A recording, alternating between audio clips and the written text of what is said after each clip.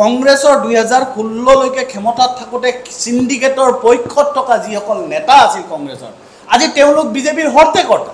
আৰু তেওঁলোকেই আজি এই বিজেপিৰ হৰ্তেকৰ্তা নেতাসকলে কংগ্ৰেছক দুহেজাৰ ষোল্ল চনৰ যিখন চৰকাৰ আছিল এঘাৰৰ পৰা ষোল্ল চনৰ সেইখনক জনমানসত সেই প্ৰতিপন্ন কৰি বিজেপিৰ ক্ষমতাত আহিছিল। কাৰণ এই যিবোৰ চিণ্ডিকেটৰ যি ৰজা আছিল কংগ্ৰেছত থাকি এই ৰজাসকলে নিজক জেলৰ পৰা যোৱাৰ পৰা বাচিবৰ কাৰণে বিজেপিৰ আশ্ৰয় লৈছিল।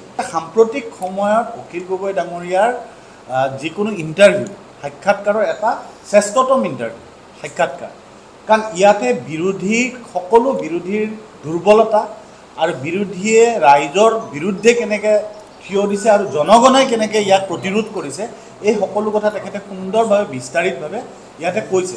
ইয়াতে কেইটামান কথা মই আপোনাক ক'ব বিচাৰিছোঁ। যিটো ভাস্কৰী শইকীয়াই ইতিমধ্যে ক'লে যে বিৰোধী ঐক্যই দুহেজাৰ চৌব্বিছৰ লোকসভা নিৰ্বাচনটো খুব বেয়া খেলিছোঁ। খুব বেয়া খেলিছোঁ। যিহেতু ৰাইজৰ দলৰ বিৰোধী ঐক্যত আমি বিৰোধী ঐক্যৰ অংশীদাৰী অংশীদাৰ এটা দল।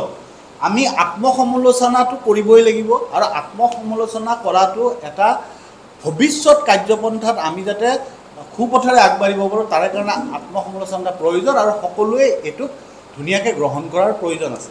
আজি অখিল গগৈ ডাঙৰীয়া এই সাক্ষাৎকাৰটোত কৈছে যে চৌব্বিছৰ লোকসভা নিৰ্বাচনটো খুব বেয়া খেলিছোঁ কাৰণ আমাৰ টকা পইচা নাই নাই লজিষ্টিক ছাপৰ্ট এই কথাখিনি কোৱাৰ অৰ্থটো কি?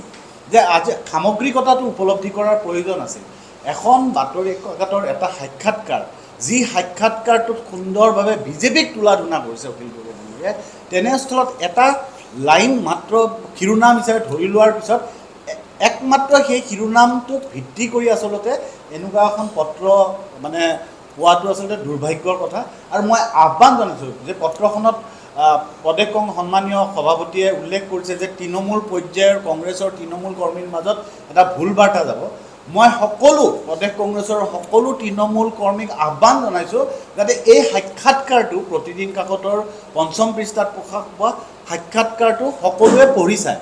কাৰণ কিয় ইয়াতে লজিষ্টিকৰ কথা কোৱাৰ ল'লে এটা কথা সামগ্ৰিকতাটো বুজি পাব লাগিব যে এই নিৰ্বাচনৰ প্ৰাক মুহূৰ্তত কংগ্ৰেছ দলৰ বেংক একাউণ্ট ফ্ৰিজ কৰা হৈছিল। বিজেপি চৰকাৰে ফ্ৰিজ কৰি দিয়া হৈছে কৰিছে। সকলো বিৰোধীৰ নেতা বিৰোধী ঐক্যৰ নেতাক E D C B I লগাই জেলত ভৰাই দিয়া হৈছিল। তেনেস্থলতো আজি যি প্ৰেক্ষা এই যিটো প্ৰেক্ষাপটত আমি নিৰ্বাচনত অৱতীৰ্ণ হৈছোঁ আজি যি শক্তিশালী নিৰ্বাচনৰ ফলাফলত আজি ছখন আসন জি জিকাৰ কথা ওলাইছে ইয়াৰ অৰ্থটো কি? যে আজি ৰাইজে এইটো সকলো সময়তে কৈ আছে যে ৰাইজে সৰ্বশক্তিৰে এইবাৰ বিজেপিক প্ৰতিহত কৰিছে। ইমান বাধাৰ পিছতো। আৰু যদি এই বাধা নাথাকিল হয় এই লজিষ্টিক ছাপৰ্ট যদি পোৱা গ'ল হয় বিজেপিয়ে যি প্ৰতিৰোধ কৰিব চেষ্টা কৰিছিল বেংক একাউণ্ট ফ্ৰিজ কৰি E D C B I লগাই বিৰোধী নেতাক জেলত ভৰাই এইটো যদি বিজেপিয়ে কৰিব নোৱাৰিল হয় তেতিয়াহ'লে আজি চৈধ্যখন আসনৰ বিৰোধী ঐক্যই বাৰখনত জয়লাভ কৰিলে। এই কথাটো আচলতে সামগ্ৰিকতাটো আমি সকলোৱে উপলব্ধি কৰাৰ প্ৰয়োজন। ইয়াতে এই সাক্ষাৎকাৰটোৰ মই কেইটামান লাইন আপোনালোকক কৈ দিছোঁ যে উজনিত বিজেপিৰ প্ৰধান লক্ষ্য আছিল চাহ বাগিচাৰ শ্ৰমিক বঙালী ভাষী হিন্দী ভাষী অনুসূচিত জাতি জনজাতি আৰু গোৰ্খা সম্প্ৰদায়ৰ লোকসকল। যাৰ বাবে বিজেপিৰ এই পৰম্পৰাগত ৰাজনৈতিক ৰণকৌশলৰ ওচৰত আমি অনাশাকে আক্ৰমণ কৰি আমি যোগ্যতাক নিৰ্বাচনৰ প্ৰথম ৰণকৌশলত পৰিণত কৰিছিলোঁ। কংগ্ৰেছ তথা বিৰোধী ঐক্য মঞ্চৰ প্ৰাৰ্থী গৌৰৱ গগৈৰ যোগ্যতাৰ সন্মুখত বিজেপিৰ তপন গগৈ নিশ্চিন্ন হৈ পৰিছিল। অখিল গগৈ ডাঙৰে সেই কথাটোৱে কৈছিল যে শিৰোনামাটোক আমি অনুধাৱন কৰিব লাগিব। এইটো এই নিৰ্বাচনটো হৈছে যোগ্যতাৰ ভিত্তিত হৈছে আৰু সেইটো আমি সকলোৱে বুজিব ঠিক তেনেকৈ অখিল গগৈ ডাঙৰীয়াই আৰু এটা খুব গুৰুত্বপূৰ্ণ কথা কৈছিল যে দুই হাজাৰ ছাব্বিছ পৰ্যন্ত আমি সকলো বিৰোধী আঞ্চলিক দল কংগ্ৰেছৰ সৈতে ঐক্যবদ্ধ হৈ থাকিব খোজোঁ। কাৰণ দুই হাজাৰ ছাব্বিছত আমি বিজেপিক অসমত ৰাজনীতিৰ পৰা বিদায় দিব লাগিব আৰু বিজেপিক বিদায় দিবৰ বাবে সকলো বিৰোধী দল ঐক্যবদ্ধ হৈ থাকিব লাগিব। ৰাজ্যখনৰ পৰা সাম্প্ৰদায়িক ৰাজনীতি স্বৈৰতন্ত্ৰ আৰু বিজেপি আৰ এছ এছৰ গুণ্ডাগাৰ্দিক বিদায় দিয়াৰ কাৰণে দিল্লীৰ ওচৰত অসমীয়া সত্তাক বিক্ৰী কৰি দিয়াৰ পথ বন্ধ কৰা মূল্যবৃদ্ধি ৰোধ কৰা আৰু জনগণৰ বাক স্বাধীনতা উদ্ধাৰ কৰিবলৈকে আমি বিজেপিক আমাৰ ৰাজনীতিৰ পৰা বিদায় দিব লাগিব।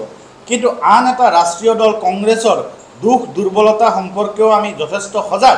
অসমীয়া জাতিৰ জাতীয় প্ৰশ্ন আৰু অসমৰ মূল সমস্যাৰাজিক সমাধান কৰিবলৈ আমি বাধ্য কৰ- কৰোৱাবলৈ আমি কংগ্ৰেছৰ লগত বন্ধুত্বপূৰ্ণ সম্পৰ্ক গঢ়ি তুলিব লাগিব।